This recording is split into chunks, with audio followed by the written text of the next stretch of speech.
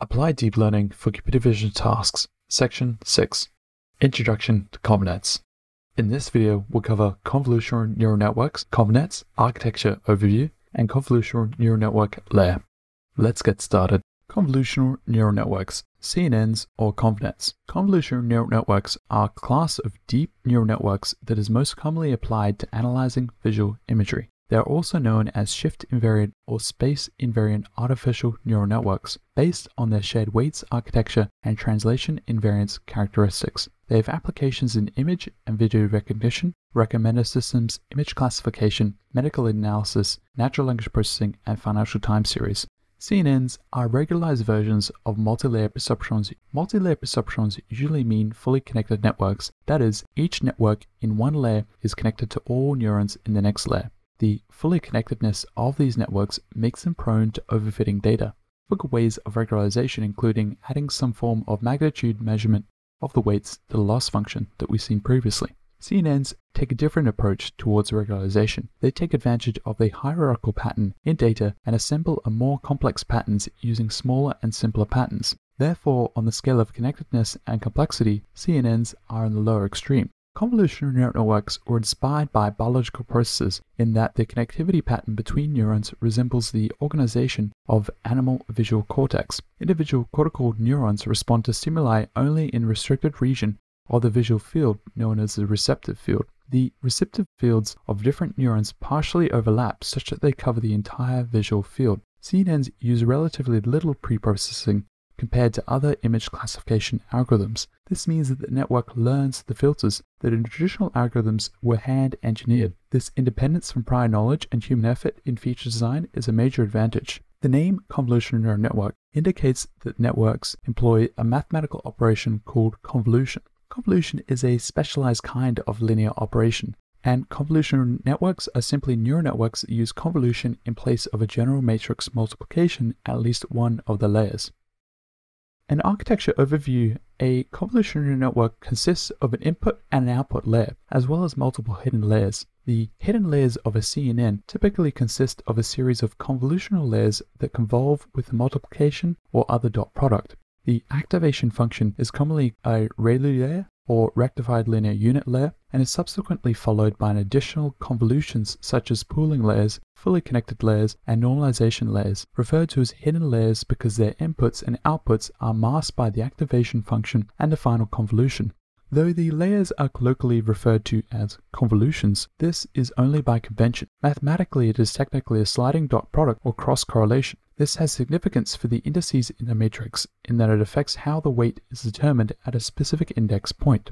Images, for example, in the CIFAR 10 dataset are tensors of the size 32 32 by 3, where 32 wide, 32 high, and 3 color channels for each image. ConvNets take advantage of the three-dimensional input nature of images and have 3D volumes of neurons with a specified width, height, and depth. Depth here is the third dimension of an activation volume.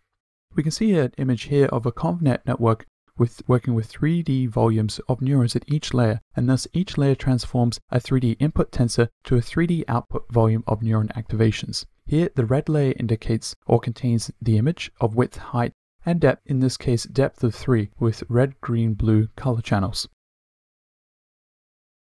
In the past, traditional multi-layer perceptron models have been used for image recognition, However, due to full connectivity between nodes, they suffered from the curse of dimensionality and did not scale well with high resolution images. For example, a 1000 by 1000 pixel image with RGB color channels has 3 million weights, which is too high to feasibly process efficiently at scale with full connectivity. Such a network does not take into account the spatial structure of the data, treating input pixels that are far apart in the same way as pixels that are close together. This ignores locality of reference in image data both computationally and semantically. Thus, full connectivity of neurons is wasteful for purposes such as image recognition that are dominated by spatially local input patterns. We solve this by using the ConvNet model, which specifically has convolutional layer which convolves the input with filter of the size of the receptive field, that is, regardless of the image size, if we use tiling regions say of 5 by 5, each with the same shared weights, requires only 25 learnable parameters. In this way, it allows us to reduce the number of parameters by sharing the same parameters across the entire visual field, allowing for a deeper network with fewer parameters. We use three main architectures to build ConvNet architectures. we use the convolutional layer, which computes the output of neurons that are connected to local regions in the input, each computing a dot product between their weights and a small region they are connected to in the input volume. This may result in a volume such as 32 by 32 by 12 if we desired to, to use 12 filters. Pooling layer performs a downsampling operation along the spatial dimensions width and height, resulting in volumes such as 16 by 16 by 12. Fully connected layer used to compute the class scores resulting in volume of size 1 by 1 by 10 and each of the 10 numbers corresponds to a class score, such among the 10 categories in the CIFAR 10 dataset. The convolutional layer parameters are a set of learnable filters. Each filter is usually small in equal width and height and has the same depth of the input volume. During a forward pass, we convolve or slide each filter across the width and height of the input volume and compute dot products between the entries of the filter and input at any position. Each dot product forms a 2D activation map. Intuitively, we will learn filters that activate when they see some type of visual feature, for example, an edge at some angle on the first layer, or eventually more complex patterns at deeper layers of the network. Depending on the amount of filters we set for the convolutional layer, we stack the 2D activation maps for each filter along the depth dimension and produce an output volume. The filter size is equivalent to the receptive field and the size of the local region that each neuron connects to in the input volume. There are three hyperparameters that control the output volume of the convolutional layer. Depth number of filters to use is the depth of the output volume. Stride to slide the filter for example, when we have a stride of 1, we move filters 1 pixel at a time, or if we have a stride of 2, the filter jumps 2 pixels at a time as we slide them around, producing a smaller output volume spatially. Padding, sometimes it is convenient to pad the input with zeros around the border, where we can set the amount. This again controls the output volume of spatial size. Often, it is desirable to exactly preserve the spatial size of the input volume. The spatial size of the output volume can be computed as a function of the input volume size w, the kernel receptive field of the convolutional layer neurons f, the stride with which they are applied s, and the amount of padding p used on the border. The formula to calculating how many neurons will fit in a given volume is given by this formula, which you'll be able to drive yourself. If this number is not an integer, then the strides are incorrect and the neurons cannot be tiled to fit across the input volume in a symmetric way. In general, setting zero padding, in this case p equals f minus 1 divided by 2, when the stride is 1, ensures the input volume and output volume will have the same size spatially. A common setting for the hyperparameters is f is 3, s is 1, and p is 1.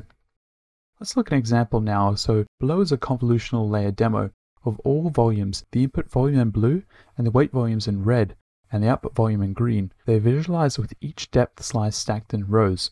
The input volume is of size W is 5, H is 5, and D or depth is 3. And the convolutional layer parameters are K is 2, F3, S2, and P is 1, while K is the number of filters. Here we have two filters of size 3 by 3 and they are applied with a stride of 2. However, the output volume size has a spatial size of 3.